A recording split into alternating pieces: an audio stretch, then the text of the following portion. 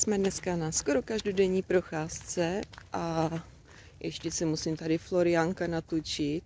Dneska nemá ty vlasy zatím učesané a dneska Florišku ostříháme vlasky, jo. No, mi se to vůbec nechce, já z toho vůbec nejsem nadšená, protože je má takové fajné.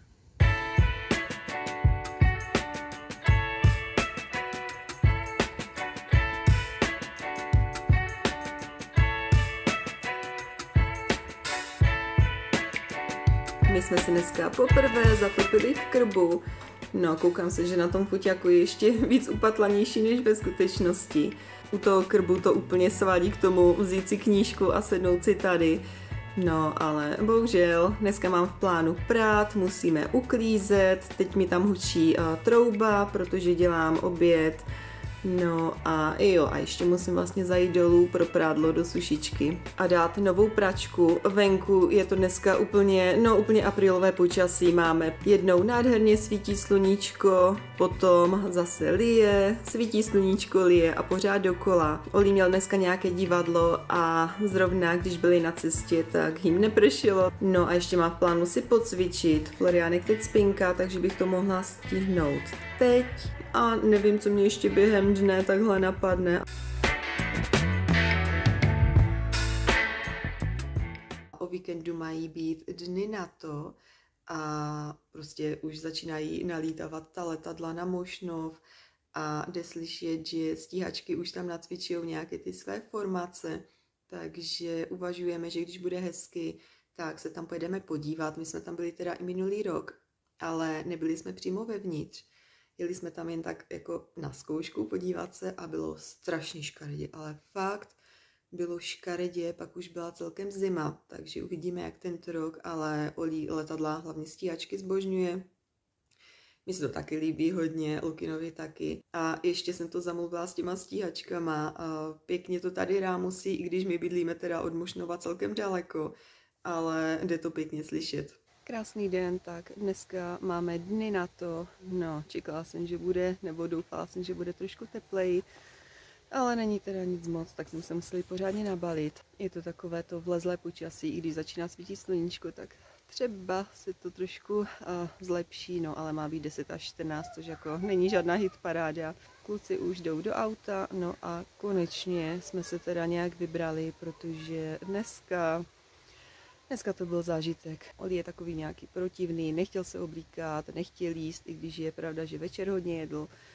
No, ale všechno mu trvá, to si oblíkat nebude, tam to nebude jíst, zuby si mít nebude, no prostě zašlo to dneska celkem perně tak doufám, že na těch dnech na to to bude podstatně lepší, ale tak budou tam letadla, tanky, takže myslím, že budou hodní, že je to zabaví. Vůbec teda nevím, jak dlouho tam budeme, samozřejmě podle počasí, ale tak prště dneska nemá, i když to vypadá tak všelijak. A samozřejmě, jak se tam budou kluci bavit. Já jsem pro jistotu dneska už vytáhla dlouhou sovčelku, protože fakt nebudu riskovat, že by mi tam byla zima jak minulý rok. To jsem měla sice kužinkovou bundu a rolák, ale stejně se tam celkem kosila, takže tento rok jsme se navlíkli teda o dost víc. Udělala jsem nám čaj do termosky, takže kdyby nám byla zima, tak nás to trošku oteplí. No, akorát jsem chtěla udělat toasty a zapomněla jsem, že nám nefunguje toaster, takže paráda.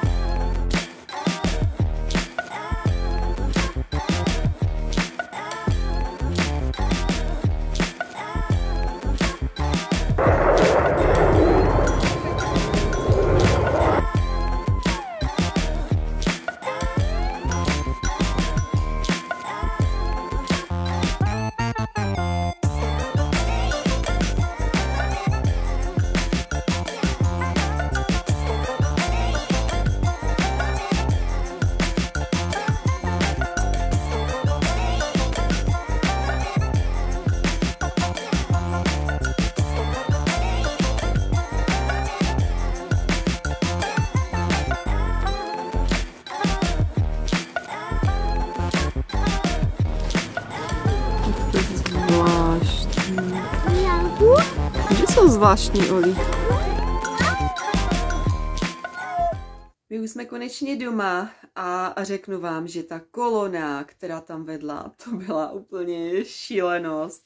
a to už vedla, já nevím kolik kilometrů uh, před tím Mošnovem, tak jsme tam nějakou dobu v té koloně ploužili, potom jsme to nějak objeli, našli jsme parkoviště, ale od toho parkoviště to bylo asi, uh, myslím, že pět kilometrů, tak naštěstí jsme měli kočárek, tak jsme tam došli. My jsme čekali, že tam bude plno lidí, ale někdy se tam přervat, to jako bylo fakt o nervy. Potom jsme se s Lukinem zhodli, že Příště to radši uděláme zase jak minulý rok, že prostě pojedeme někde bokem a tam se budeme na ta letadla dívat, podíváme se na program, co nás bude zajímat, tak se na to pojedeme podívat.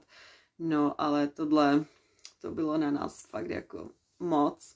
Ale určitě o to nechci nikoho odrazovat, jako zase je rozdíl tam jít třeba ve dvojku a nebo ve čtyřku s dětma je to takové prostě náročnější s těma dětma, ale tak s tím se musí počítat. A když jsme šli potom zpátky, tak to vypadalo, že přímo nad tím parkovištěm, kde jsme parkovali, se otáčí úplně obrovské letadlo, tak jsem to aspoň trošku natočila, ale prostě na tom mobilu to vůbec nevynikne. A vlastně, když jsme šli ještě zpátky, tak uh, tam potom mělo vystoupení asi pět nebo šest stíhaček, takže to tam nad náma lítalo, jak jsme šli kolem pole. Takže to bylo fakt ještě lepší, než být tam vevnitř v tom areálu. Ale už jsem fakt ráda, že jsme doma. jako mám celkem dost.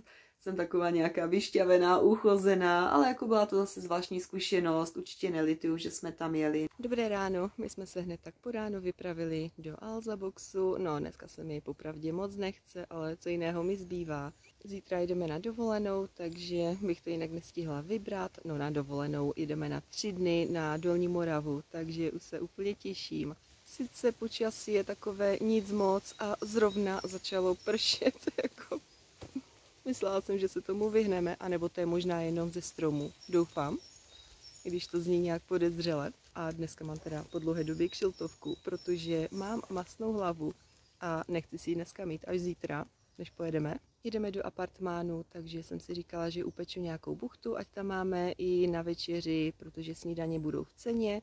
No a musím samozřejmě všechny nabalit a jinak nevím, co je dneska v plánu, uvidí se. I když mě napadá, že by to chtělo ostříhat tady toho lumpíka, Víď, Dubko. Ano, počkej, dáme. A dneska jsem teda musela vzít tady ten kučárek a jako upřímně není vůbec do terénu, jako dělá trošku větší kravál ale Lukin mi odjel s kočárkem v autě, někde do obchodu, do města je perfektní, ale na tady tu cestu, no ono to nevypadá, ale je celkem hrozná.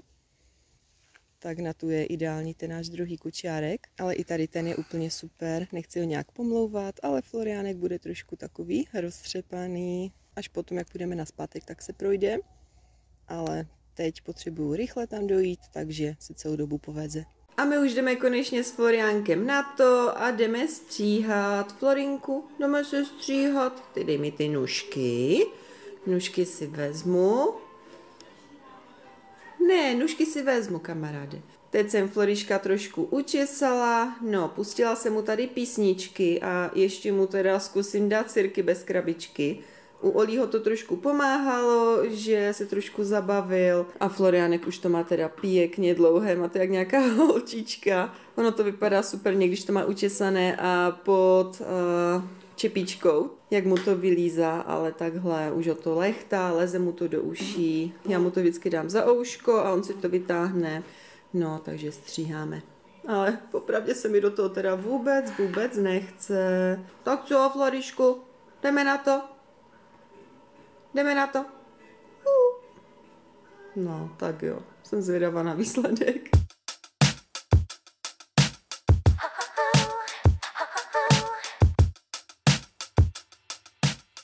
Florišek je ostříhaný, no jako byl to teda boj, to vám řeknu.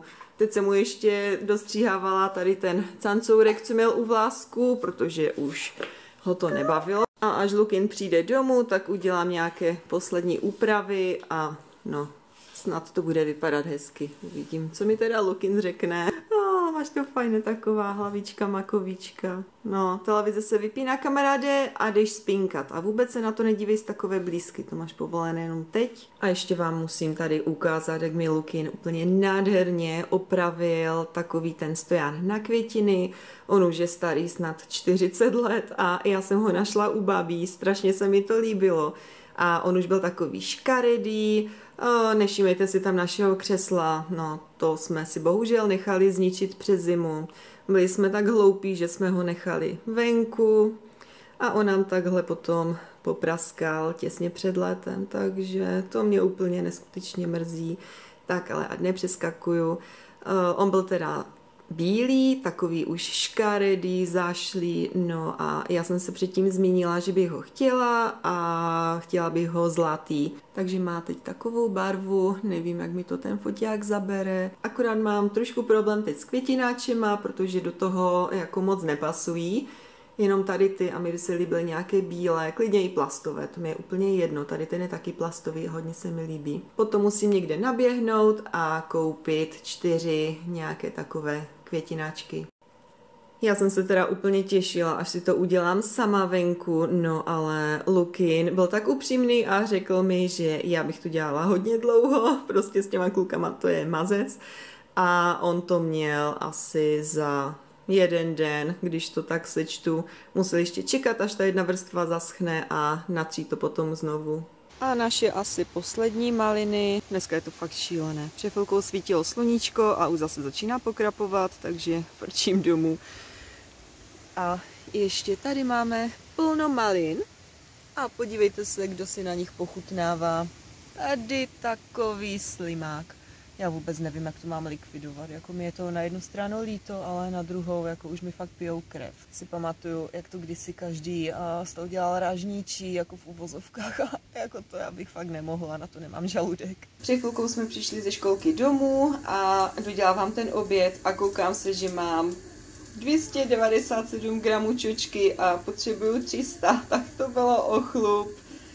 Tady ještě dodělávám mléko z Lidlu, kokosové, no tady mám nakrájenou, patří tam nakrájená rajčata z konzervy. Hele, kluci, nechte toho, ale Floriánku mě tady ostřeluje teď nějakým balonkem ale ty nemám, tak dám normálně rajčata ze zahrady od našich, nakrájená paprika, mám tady zbytek hrášku, takže ho tam zkusím přihodit, jinak by se mohl zkázit a to nechci. Čočkové kary je hotové, dala jsem si toho teda celkem dost, protože mám už šílený hlad. No a dala jsem tam ještě navíc, potřebovala jsem spotřebovat tady ty bambusové výhonky. Sice je to úplně jiná kuchyně, ale myslím, že zrovna tady do toho jídla by to nemuselo nijak vadit. Ty dodělat buchtu, přišla jsem do kuchyně a jako tohle vypadá opravdu velmi zajímavě. No, já už jsem doufala, že teda nebude pršet, ale jak vidím, tak to ještě není zdaleka konec. Buchta je úplně bombovní, trošičku se mi tam nechala déle, než měla být, ale vůbec to teda nevadí. Dala jsem tam nakonec domácí švestky, které jsem dělala a takový menší kompot ostruži na ten zbytek a udělala jsem drobenku. Tentokrát je ta buchta tmavší, ne, že je teda spálená, ale je to i moukou, protože jsem neměla polohrubou, tak jsem tam uh, ještě měla, ježkově oči, jak ona se jmenuje, myslím, že pšeničná celozrná, trošku jsem se bála, jak to bude chutnat, ale jako fakt je dobrá, je zase trošičku jiná než vždycky. A ta drobenka je taky z té mouky, takže ta už je samo o sobě taková tmavší, ale jako fakt je výborná.